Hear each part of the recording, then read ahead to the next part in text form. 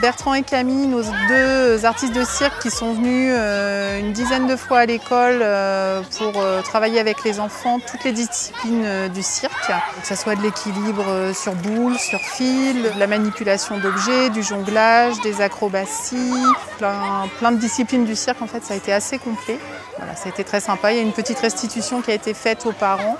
et qui a beaucoup plu et les enfants se sont vraiment investis dans l'apprentissage du cirque.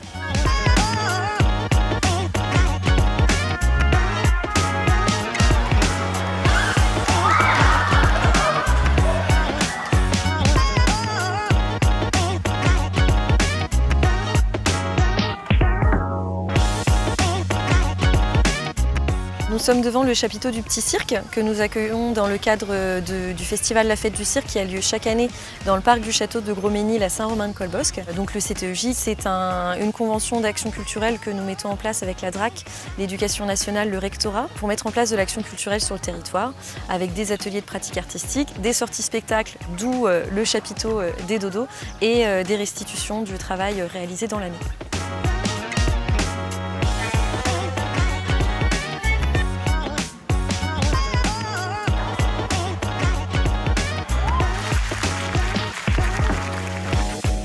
Trop bien parce qu'il y avait plein de choses. Et j'ai bien aimé quand il se passait les personnes en l'air et quand les, les guitares ils sont tombés en domino.